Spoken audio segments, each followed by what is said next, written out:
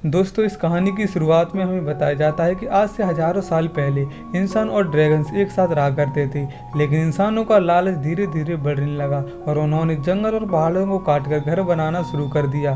तब ड्रैगन्स ने इंसानों को समझाने की बहुत कोशिश की, लेकिन इंसानों ने ड्रैगन्स का ही शिकार करना शुरू कर दिया। उस समय पेट्रियोसिस नाम के एक आदमी ने ड्रैगन्स का शिकार करने के लिए एक बहुत ही खतरनाक ड्रैगन बना दिया, जिसका नाम नेटर ब्रेड था, लेकिन पेट्रियोसिस नेटर ब्रेड को कंट्रोल नहीं कर सका। तब नेटर नेटल ब्रेड पेट्रियोसिस को ही मार करके खा गया। नेटल ब्रेड ने ड्रैगन्स का शिकार करना शुरू कर दिया, क्योंकि उस पर ड्रैगन्स की आग का कोई असर नहीं होता था। तब सभी ड्रैगन्स नेटल ब्रेड से बचने के लिए रिम ऑफ़ हेवन चले गए।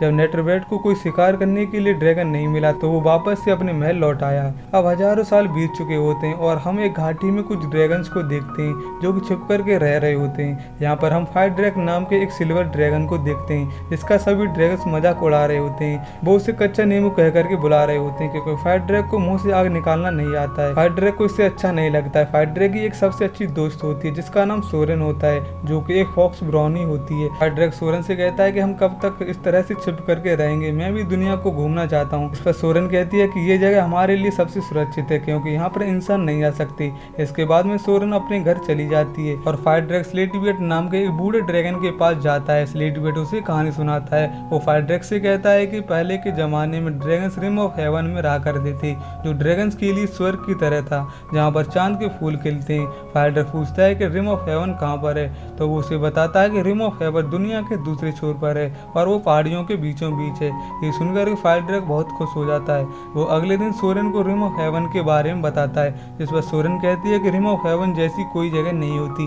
वो सिर्फ़ एक कहानी है। तभी दोनों को एक ब्लास्ट की आवाज़ सुनाई देती है। जब दोनों देखने जाते हैं तो वहाँ पर इंसान होते हैं, जो इस घाटी को भी तोड़ रहे होते हैं। ये देख करके दोनों डर जाते हैं और तुरंत ये बात सभी ड्रैगन्स को आकर के बताते हैं। इससे सभी ड्रैगन्स घबराने लगते हैं। तभी ड्रैगन्स का लीडर बॉटर नेट सबको शांत करता है। वो सबसे कहता है कि इंसान अगर इसी तरह से आते रहे तो वो पूनम की रात तक यहाँ पर आ जाएँगे। उससे पहले हमें अपने लिए छिपने की जगह ढूंढनी होगी। इसके बाद में सभी छिपने की जगह ढूँढने में लग जाते हैं।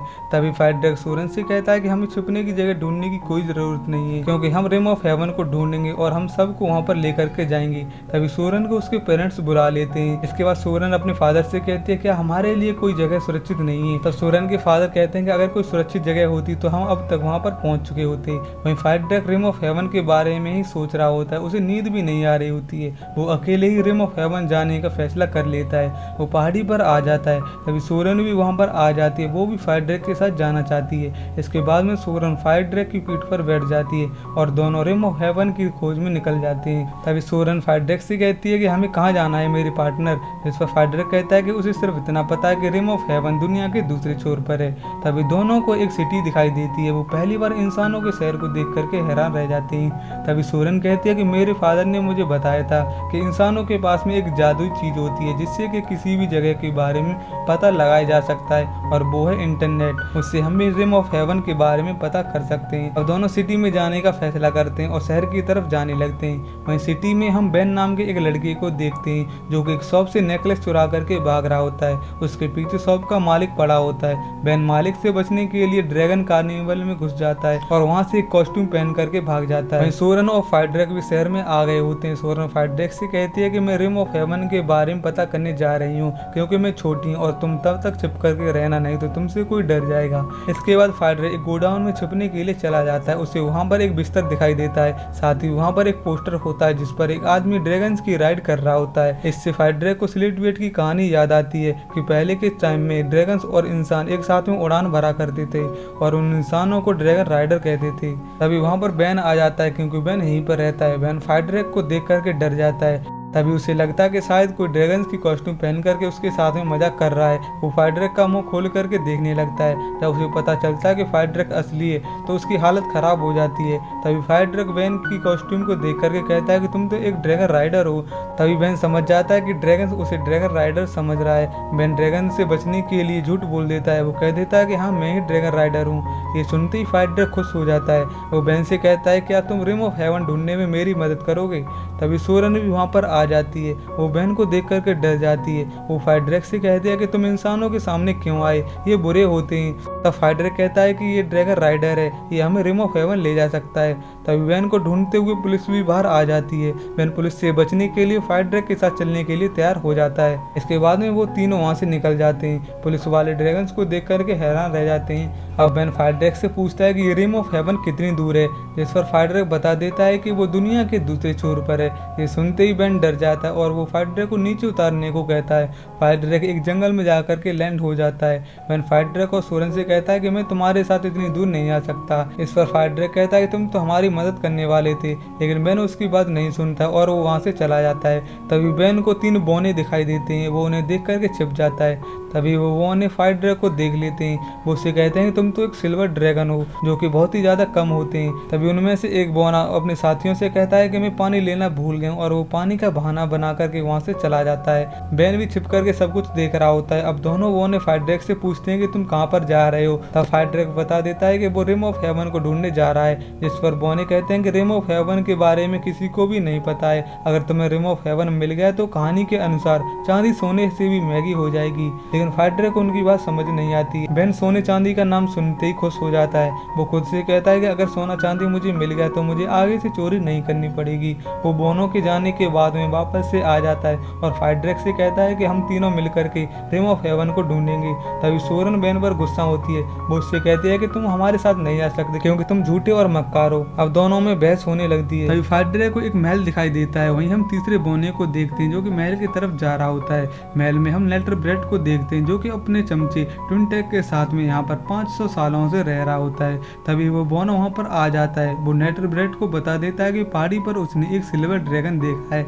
ये सुनकर के नेटर ब्रेड खुश हो जाता है। वो फायर ड्रैग का शिकार करने के लिए पहाड़ी की तरफ़ जाने लगता है। तभी फायर ड्रैग देखता है कि कोई उनकी तरफ़ आ रहा है, इसलिए वो सोरन और बैन को लेकर के वहाँ से उड़ जाता है। जब नेटर ब्रेड पहाड़ी पर पहुँचता है तो देखता है कि फायर ड्रैग उड़ गया है। वो ट्विन टैग को उसका पीछा करने के लिए भेजता है और उससे कहता है कि तुम वीडियो कॉल पर मुझे अपडेट कर दे रहना। ट्विन टैग फायर ड्रैग के पीछे चला जाता है। वहीं वो तीनों बड़ी तेज़ी से रिम ऑफ़ हेवन की तरफ़ जा रहे होते हैं। तभी वो एक बड़े से रेतीले तूफ़ान में फंस जाते हैं और नीचे गिर जाते हैं। ट्विन टुनटेक भी नीचे गिर जाता है। अब जब बैन को होश आता है तो वो देखता है कि वो रेगिस्तान में है। सोरन भी वहीं पर होती है, लेकिन फायर ड्रग उन्हें दिखाई नहीं देता। वो फायर ड्रग को ढूँढने लगते हैं। उन्हें एक खंडर दिखाई देता है और वो उसके अंदर चले जाते हैं। जहाँ पर फायर ड्रग बेहोश पड़ा होता है, उसे उठाने लगते हैं। तभी वहाँ पर एक क्रिएचर आ जाता है, जिससे कि बेन डरने लगता है। तभी बेन उस क्रिएचर से कहता है कि मैं तुमसे नहीं डरता हूँ, क्योंकि मेरे पास ड्रैगन है। लेकिन बेन को नहीं पता होता कि फायर ट्रक आग नहीं निकाल सकता। अब क्रिएचर उन पर अटैक करने के लिए आगे बढ़ता है तो फायर ट्रैक आग निकालने की कोशिश करता है, लेकिन उसके मुँह से सिर्फ़ कुछ चिंगारी ही निकलती हैं। तभी वहाँ पर प्रोफेसर ग्रीडवुड आ जाते हैं। वो एक शीशे की मदद से क्रिएचर को रोक देते हैं, क्योंकि वो क्रिएचर खुद को शीशे में देख करके फ्रीज हो जाता है। प्रोफेसर सिल्वर ड्रैगन को देख करके हैरान रह जाते हैं। वो कहते हैं, ये तो बहुत ही ज़्यादा अनोखा ड्रैगन है। जिस पर बहन कहता है कि हाँ ये कुछ ज़्यादा ही अनोखा है, क्योंकि इसको तो आग निकालना भी नहीं आता। ये सुनकर के फायर ड्रैग को बुरा लगता है और वो वहाँ से बाहर चला जाता है। इसके बाद में तीनों मिल करके फायर ड्रैग को ढूँढने लगते हैं। अब बहन को फायर ड्रैग मिल जाता है। वो उदास बैठा होता है। बहन उससे माफ़ी माँगता है। बहन फायर ड्रैग से पूछता है कि, आखिर तुम रिम ऑफ़ हेवन क्यों ढूंढना चाहते हो? तो फायर ड्रैग उसे बता देता है कि उसके जैसे और भी ड्रैगन है, जो कि खतरे में है। मैं सबको रिम ऑफ़ हेवन ले जाना चाहता हूँ। जिस पर बैन कहता है कि मैं तुम्हारे साथ हूँ और हम सब मिलकर के रिम ऑफ़ हेवन को ढूंढ लेंगे। ये सुनकर के ड्रैग खुश हो जाता है। तभी प्रोफेसर भी वहाँ आ जाते हैं। वो उनसे कहते हैं कि मेरा कैंप पास में ही है तो वहाँ पर जा करके आराम कर सकते हो। इसके बाद में वो सभी कैंप पर पहुँच जाते हैं। वहाँ पर तरह तरह के क्रिएचर्स होते हैं। प्रोफेसर सबको बताते हैं कि वो अनोखे जीवों को खोज करके उनकी देखरेख करता है।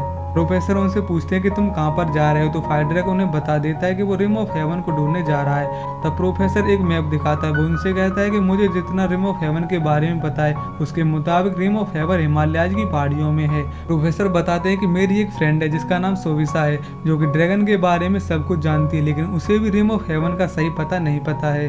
तभी प्रोफेसर को एक हज़ार आँख वाले जिनी के बारे में याद आता है। वो बताता है कि ये जिनी तुम्हें रिम ऑफ़ हेवन का सही पता बता सकता है, क्योंकि उसे सारे सवालों के जवाब पता है, लेकिन वो बहुत ही ज़्यादा गुस्से वाला है। प्रोफेसर मैप में एक निशान लगा करके बताता है कि जिन यहीं कहीं पर हो सकता है, लेकिन उस तक पहुँचने के लिए तुम्हें बहुत सारी कठिनाइयों का सामना करना होगा।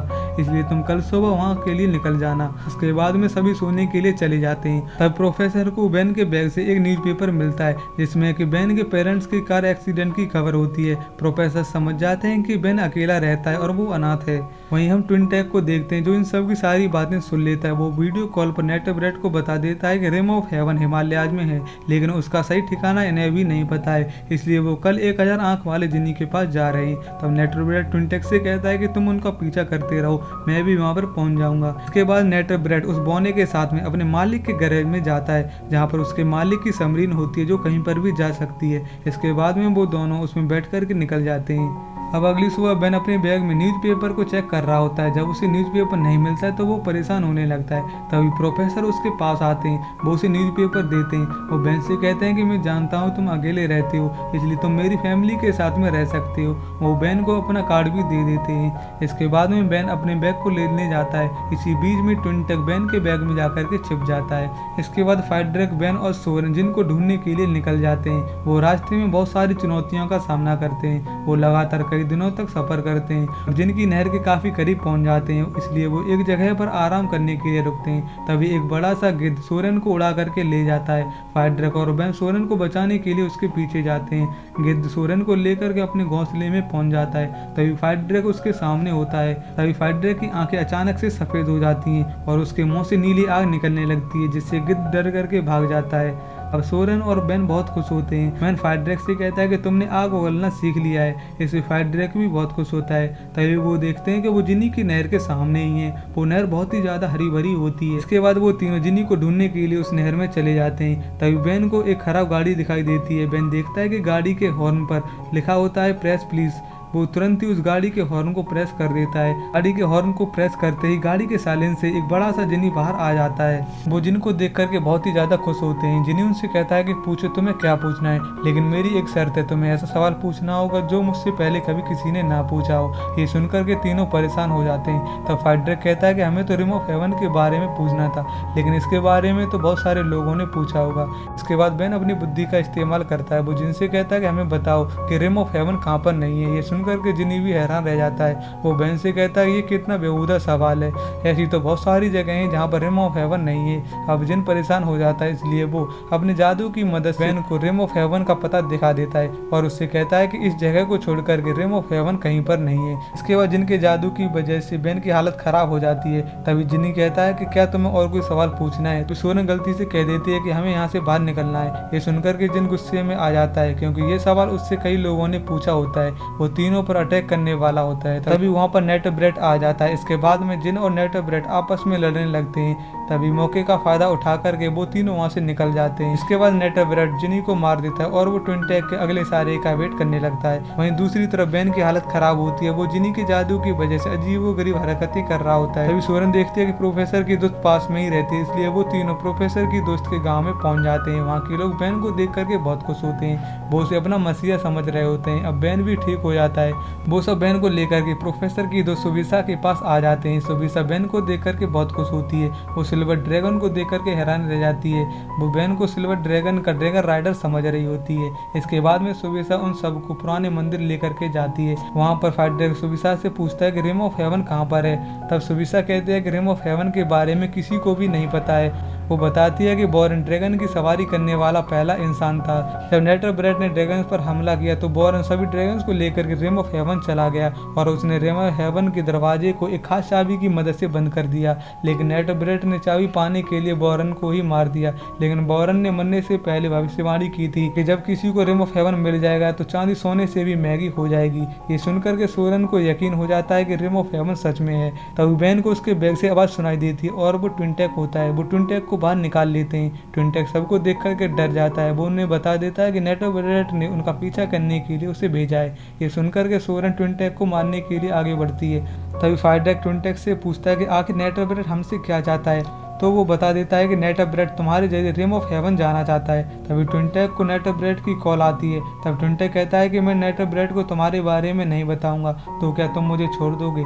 जिस पर सोरन हाँ कर देती है। इसके बाद में ट्विंटेक नेट ब्रेड को बताता है कि रिम ऑफ़ हेवन अंटार्कटिका में है और सभी अंटार्कटिका की तरफ़ ही जा रहे हैं। तभी अचानक से उसके हाथों से फ़ोन गिर जाता है। इससे नेट ब्रेड सबको देख लेता है। वो समझ जाता है कि ट्विंटेक उससे झूठ बोल रहा है। अब सुविशा सबसे कहती है कि नेट ब्रेड के आने से पहले तुम रिम ऑफ़ हेवन को ढूंढ लो। इसके बाद फाइटर बहन से पूछता है कि तुम्हें जिनी ने क्या दिखाया था? तब बहन बताता है कि उसने आधे चाँद वाली पहाड़ी देखी थी। तब सुबीसा आधे चाँद वाली पहाड़ी का मैप उन्हें दे देती है। लेकिन तभी नेट ब्रेड का पालतू कौआ उस मैप को लेकर के उड़ जाता है। तब सभी सब उन सबसे कहते हैं कि हिमालय के बीचों बीच में ये पहाड़ी है। जब तुम वहाँ पर पहुँच जाओगे तब आगे का रास्ता ड्रैगन राइडर तुम्हें दिखाएगा, जिस पर बेन सुबिसा से कहता है कि मैं ड्रैगन राइडर नहीं हूँ, मैं तो कुछ भी नहीं जानता। तब सुबिसा कहती है कि तुम्हें खुद पर भरोसा करना होगा। इसके बाद में सुबिसा बेन को एक जैकेट दे देती है। बेन ट्विंटर को भी अपने साथ ले लेता है और तीनों वहाँ से निकल जाते हैं। अब सभी किसी तरह से आधे चाँद वाली पहाड़ी को ढूंढ लेते हैं। इसके बाद में बेन आगे का रास्ता दिखाने लगता है। तभी नेट ब्रेड मैप को फॉलो करते हुए वहाँ पर आ जाता है और वो फाइडर का पीछा करने लगता है। तभी अचानक से बर्फ़ नीचे धस जाती है और नेट ब्रेड नीचे गिर जाता है। इसके बाद में फाइडर सभी के साथ में रिम ऑफ़ के दरवाजे पर पहुँच जाता है। इसके बाद में वो सभी अंदर गुफा में आ जाते हैं, लेकिन वहाँ पर रिम ऑफ़ हेवन नहीं होता है। वहाँ पर सिर्फ़ एक ड्रैगन की मूर्ति होती है। इससे सब परेशान होने लगते हैं। वहीं हम नेट ब्रेड को देखते हैं, जो कि ज़िंदा होता है। वो तेज़ी से चीखने लगता है। उसकी आवाज़ बेन सुन लेता है। वो फायर ड्रैग और सोरेन से कहता है कि हमें यहाँ से निकलना चाहिए, नहीं तो हम मारे जाएँगे। लेकिन fire drake rim of heaven को ढूंढना चाहता है, तब बेन कहता है कि रिम ऑफ़ हेवन जैसी कोई जगह नहीं है, वो भी एक कहानी थी, लेकिन फायर ड्रैग उसकी बात नहीं सुनता है। तब बेन गुस्से में वहाँ से बाहर चला जाता है, तभी वो नेटर ब्रेड को देख लेता है, इसलिए वो एक पत्थर के नीचे छिप जाता है। इसके बाद में नेटर ब्रेड गुफा की तरफ़ चला जाता है, तभी उसके शरीर से एक टुकड़ा नीचे गिर जाता है। जब बैन उसे उठाता है तो वो सोने का होता है, तभी बैन को वो भविष्यवाणी याद आती है, जिसमें कहा गया था कि जब रिम ऑफ़ हेवन मिल जाएगा, तब चांदी सोने से भी महँगी हो जाएगी। अब बैन उस पहली का मतलब समझ जाता वही नेट ब्रेड गुफा के अंदर आ जाता है, तभी सोनन फाइड्रेक से कहती है कि हमें किसी तरह से यहाँ से बच करके भागना होगा। तभी फाइड्रेक कहता है कि मैं अब नहीं भागूँगा, मैं नेट ब्रेड का सामना करूँगा। इसके बाद में वो नेट ब्रेड के सामने आ जाता है, लेकिन फाइड्रेक उसके सामने बहुत ही ज़्यादा कमज़ोर होता है। तभी वहाँ पर बैन आ जाता है, वो फाइड्रेक से कहता है कि तुम चांदी हो और वो सोना, इसलिए तुम अपनी आग की मदद से उस पर अटैक कर सकते हो। इसलिए तुम नेट ब्रेड को हरा सकते हो। इसके बाद में फाइड्रेक अपनी आग निकालने की कोशिश करता है, लेकिन वो अब भी आग नहीं निकाल पाता। तभी नेट फाइटर को पकड़ लेता है और वो बैन को भी पकड़ लेता है। तभी नेटर ब्रेड बैन को खाने वाला होता है। ये देख करके फाइटर डर जाता है और उसके मुँह से आग निकलने लगती है। इसके बाद फाइटर अपनी पूरी आग से नेट ब्रेड पर अटैक करता है, जिससे कि नेट ब्रेड पूरी तरह से पिघल जाता है। तभी वो देखते हैं कि नेट ब्रेड के शरीर में एक चाबी थी, जो कि हेवन की की होती है। इसके बाद में बेन चाबी को उठा लेता है और वो ड्रैगन के स्टैचू में लगा देता है, जिससे कि हेवन का दरवाज़ा खुल जाता है। इसके बाद में तीनों अंदर आ जाते हैं। वो देखते हैं कि रिम ऑफ़ हेवन बहुत ही ज़्यादा सुंदर जगह है और वहाँ पर बहुत सारे ड्रैगन होते हैं। इसके बाद फाइट ड्रैग बेन से कहता है कि तुम भी हमारे साथ में रह सकते हो। तब बेन कहता है कि मैं तुम्हारे साथ में नहीं रह सकता, इसलिए मैं प्रोफेसर के पास जाऊँगा और मैं उन्हीं के साथ में काम करूँगा। इसके बाद में सोरन वहाँ से चाँद का फूल ले लेती है। इसके बाद में फाइट ड्रैग और सोरन बाकी के ड्रैगन्स को लेने के लिए चले जाते हैं। इसके बाद फाइट ड्रैग और सोरन बाकी के ड्रैगन्स के पास पहुँच जाते हैं। सब उन्हें देख करके बहुत खुश होते हैं। फाइट ड्रैग उन्हें बताता है कि उसने रिम ऑफ़ हेवन को ढूंढ लिया है। वो उन्हें चाँद का फूल दिखा देता है, जिससे सबको रिम ऑफ़ हेवन पर यकीन हो जाता है। अब सभी रिम ऑफ़ हेवन की तरफ़ निकल जाते हैं। फाइट ड्रैग रास्ते में सबको बताता है कि सब इंसान बुरे नहीं होते और बेन ने ज्वेलरी शॉप के मालिक को सॉरी लिख करके भेजा होता है और उसे नेट ब्रेड के सोने का टुकड़ा भी दिया होता है। इससे शॉप का मालिक बहुत ही खुश हो जाता है। वहीं हम बेन को देखते हैं जो कि प्रोफेसर के घर पर होता है और वो वहाँ पर उनके साथ में काम कर रहा होता है। इसके बाद फाइटर बेन को आखिर बार अलविदा कहते हुए रिम ऑफ़ हेवन की तरफ़ चले जाते हैं। अब बेन बहुत ही ज़्यादा खुश होता है और उसके साथ में ट्विन भी होता है और इसी के साथ में इस फ़िल्म का यहीं पर एंड हो जाता है। अगर आपको मूवी की एक्सप्लेनेशन अच्छी लगी हो तो प्लीज़ वीडियो को लाइक और चैनल को सब्सक्राइब ज़रूर से कर लेना।